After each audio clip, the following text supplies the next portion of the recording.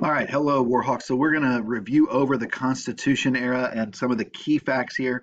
We're just hitting the main points. We're not hitting every detail about the Constitution, um, but we're going to hit some of the main points, and these are some of the most tested points um, uh, and most likely to see something like this on the STAAR test. So uh, let's get going. Uh, it is going to move kind of quick, but there's a lot of information here, and I don't want this to be too long a video. All right, so the Articles of Confederation is our first constitution. Um, it's our first government. Uh, it is a confederation government. So Articles of Confederation is kind of our first one. Um, and it created a weak federal government and strong states. That's the key here. There's only one branch of government. Um, and that's the Congress. There's not an executive branch, there's not a judicial branch. Um, it leaves the power in the states, it leaves most of the governing authority and everything there to the states and it's kind of just a loose group of states that have come together for a few things. Um, and it's so it's weak by design. It was on purpose, but it's so weak that it does cause some problems. And those weaknesses are things like they can't collect taxes, and so therefore they uh, they they can't do much because everything a government does requires money you can't do something without money. And so if they don't have money, that, that's going to be a problem. And that's a huge problem. Uh, they couldn't regulate trade. If they were going to make a change, it took a supermajority. Nine out of the 13 states had to approve that change. And so that was very difficult. And we already talked about no executive. And then finally, this, this bolded one the state had more power than the national government. That's the key. The states had more power. Um, and those ultimately lead to problems uh, and that make the ultimately the Articles of Confederation um, really unworkable uh, as a as a government. The one good thing that does come out of the Northwest Ordinance, and this is often on your test, just like the last item, um, is that it, out of the Articles of Confederation is the Northwest Ordinance. Uh, and with the Northwest Ordinance, it, it provides for an orderly way to add new states. And it says these new states are going to be equal to the original 13 states. So they're not going to come in and be something less like the original 13 are um, have most of the power and these new states have some kind of less power. No, new states will come in uh, with the same power, uh, the same standing as any other state. Uh, you could not become apply for statehood until you had at least 60,000 people. Um, and one of the significant things about the Northwest Ter- Ordinance is that uh, it forbids slavery in those territories. Um, so uh, another thing that is essential to the uh, Constitution and the creation of the Constitution. Um, so after the Articles of Confederation, they come together to create a uh, have a constitutional convention, and um, they come with a plan. James Madison, the father of the Constitution, comes with a plan, and that plan is called the Virginia Plan. Uh, and his plan is a lot of what we uh, basically have today, but there were some differences. So he created three branches of government uh, legislative, executive, and judicial. Now, that's not his idea. He's not the first person to come up with that idea, uh, but he does want it in our government, uh, federal government as well. Uh, and in Congress, that is the legislative branch, representation would be based on population. Uh, and that would be both uh, in the House and the Senate. Well, uh, the small states don't like that because they not they're not going to have as much representation. So the New Jersey plan came back and said, no, we're going to have representation equal for every state, and there's only going to be one house. There's not going to be a house and a senate. There's just going to be a one house um, and every state. And that was closer. The New Jersey plan was really closer to the articles, but with significant changes still. Uh, and then ultimately, what we come up with is the Great Compromise, uh, and the key here is that you've got the House and the Senate. So you can see the Senate chambers over here and the House of Representatives on this side. And um, the House of Representatives today is based on population, and the Senate is based on uh, is equal. It's two for every state. Each state gets two senators. Uh, and so that kind of one side, the House of Representatives, that makes the larger states happy and says, you know, we, we have better population, so we should have more representation. The smaller states say, but we don't want to be overrun, so they have equal representation in the Senate. Uh, and that is the, the compromise that, that we came up with as a nation. Uh, and it's worked out pretty well. Uh, this is also why, because of the House of Representatives, this is why we have to have a census every 10 years to count the population and see how many representatives each state will have.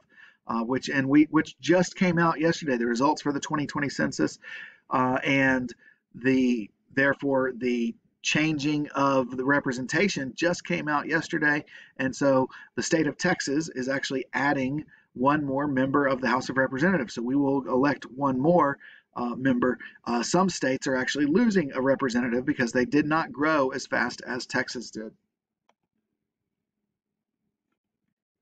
All right, so uh, that was the plan, but not everybody liked it. There was a whole group of people that were in favor of it. They wanted to ratify the Constitution, um, and there were people that were against it. Those that supported the Constitution and thought it was a good idea were the Federalists. Um, they wanted a more powerful government, but not too powerful.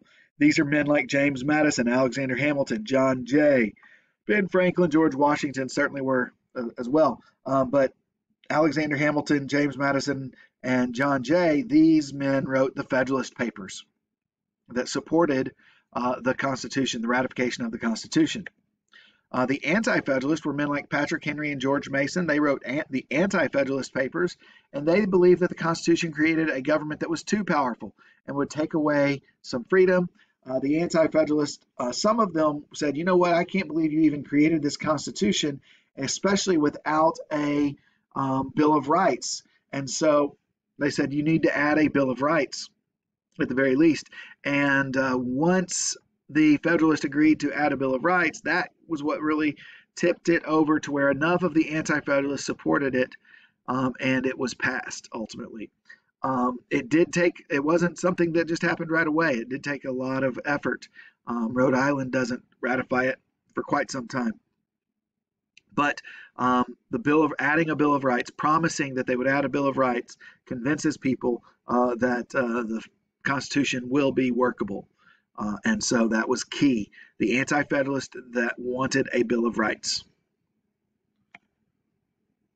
And so instead of being, this image kind of shows you, instead of being a bunch of just individual countries that are kind of loosely together, the Constitution passing kind of makes us one nation. All right, so it was written, the Constitution was written in 1787 and ratified. Um, in 1791, the Bill of Rights was officially ratified. So the Constitution plus the Bill of Rights, um, that means a good, that's a go, and people are in favor of it. All right. Um, so the principles of the Constitution. I'm not going to get a lot go into these a lot. You can see them in the notes. The popular sovereignty means the people have the power. Republicanism means the people vote for representatives. Limited government. The government cannot do what is not in the Constitution, so it limits the power of the government. Federalism. Power is shared between the national and state government, and then we have separation of powers. Powers are separated between the three branches. So when you see a question about separation of powers, it usually has something to do with the three branches of government. Uh, checks and balances. These are, you know, these are things like the veto, where the president can. It's not the president's job to make laws. It's the legislative branch's job. It's Congress's job. But the president has a voice in it. And if he doesn't, the president, he or she doesn't like it, they can veto the law and that is a check on the power of the legislative branch. Um, that, that's one example. It's kind of the most famous example, but there's other examples. The Senate has to confirm presidential appointments. Uh, the Senate confirms president, uh, including uh, appointments to the judicial uh, to the judicial branch, like the Supreme Court. Uh, and then finally, we've got individual rights. Basic liberties of citizens are protected by our Constitution. So those are kind of the key seven principles of the Constitution. All right, amending the Constitution. There's two different, uh, there's, uh, to amend the Constitution, you need two thirds of the houses of Congress to vote for the change, two thirds of both houses of Congress. So two thirds of the people in the House of Representatives, two thirds of the senators in Congress to call for a change. And then three fourths of the state legislatures have to vote for that change. So that is uh, how you amend the Constitution. And the purpose of amending a Constitution is to make it a, make a change to it that's to something that you know this this document that is ruling a nation and has existed for over um, over 200 years. Well, in that time, there's going to be so they recognize the founders recognize there there may be some things that happen in the future that we haven't prepared for, and we may need to make some changes. And so, being able to make changes to the Constitution is the purpose of the amendment. All right. Um, there are two ways to become a citizen. There's birthright citizenship. That's people that are born in the U.S. or parents are U.S. citizens. Um, and then there's naturalized citizens. And there's a process that uh, people can go through to become citizens. Uh, you live in the U.S. for five years. You must be 18 years old. Understand U.S. history and government. You have a test, basically. Uh, they give you like 100 different questions you could have. And then on the test, you, you get 10 of them. There's 10 of those questions that you have to answer, and you don't know which 10, so you got to study them all. Uh, and then you have to swear an allegiance to the Constitution.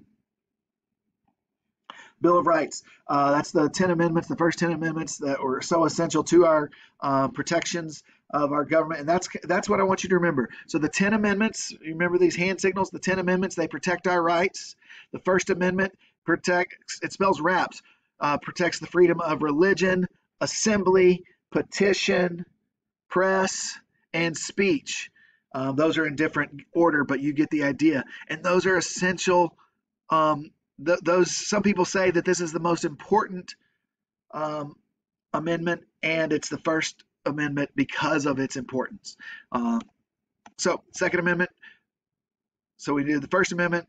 There's four freedoms in the First Amendment. Second Amendment, right to bear arms. The Third Amendment, make size of a quarter. You make a hole the size of a quarter. That's the Quartering Act. Three, Quartering Act. You don't have to quarter soldiers in your house. The Fourth Amendment, knock knock it's the police do you have a warrant you have the freedom to ha not have unreasonable search and seizure you have to have a warrant um, fifth amendment the right to due process um, that's the right to the fifth amendment you have the right to remain silent is the way we remember it um, it's the right to due process in other words you don't um, if you're accused of a crime they have to have evidence. They have to there's a certain process that you are due um, that uh, they have to go to. They go through to uh, arrest somebody and to hold somebody uh, and and to try to convict somebody of a crime. You have a you have rights. Um, they can't just do what they want. Uh, the sixth amendment you have a right to a trial by jury. It's a right to a speedy trial by jury. So the sixth amendment is you have the right to a trial by jury a speedy trial by jury uh, eighth amendment is another one uh, no cruel and unusual punishment uh, ninth amendment citizens have more rights than just listed in the Constitution. And then the 10th Amendment, rights not given to the federal government are reserved for the states. Now, one of the things about our Constitution is we had a lot of complaints about our government under the under Great Britain under our previous government, under our previous nation. And so these are listed here. We King imposed taxes without consent. King made judges dependent on his will. King refused colonists to petition. King quartered troops. King deprived colonists the right to trial by jury. Well, they addressed these grievances in the Constitution. Uh, so taxes must be approved by Congress. Judges are appointed for lifetime. In other words, uh, not dependent on the will of the, the president. The president can't get rid of you once you're in um, if he, he doesn't like what you're doing. First Amendment provides rights to petition. Third Amendment provides rights not to quarter soldiers. And the Sixth Amendment provides rights to a trial by jury to everyone. All right, so just to be clear, uh, the Declaration of Independence, one of the key things it does is um, kind of point out the problems that we had under Great Britain, and then our Constitution and Bill of Rights is this has a lot of the solutions to those problems that we felt like existed under our previous government. So that's a very quick overview of the Constitution, some of the key things uh, over the Constitution that you need to know.